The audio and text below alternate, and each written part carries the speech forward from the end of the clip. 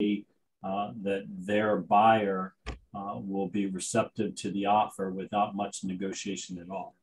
If they paid a real estate agent or an attorney or another investor to get involved in it, what would have that have cost them if we can monetize that?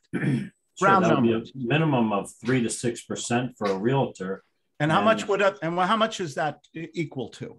Three to six percent of, uh, in this case, it was one hundred and eighty thousand. So that would be uh, approximately seven, eight, nine thousand dollars. And how much did, if you don't mind, you don't have to, how much did you charge? Just one percent, Which is equivalent to eighteen hundred dollars. correct? Mhm. So you charge, you help them to save thousands of dollars, Yeah. but you only charge under two thousand dollars. So you gave them good value, right?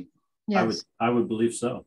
Okay, and if and the next person who comes to you and you're going to save them twenty thousand, let's say, would it be unreasonable for you to give yourself a raise and make twenty five hundred dollars? Is that reasonable?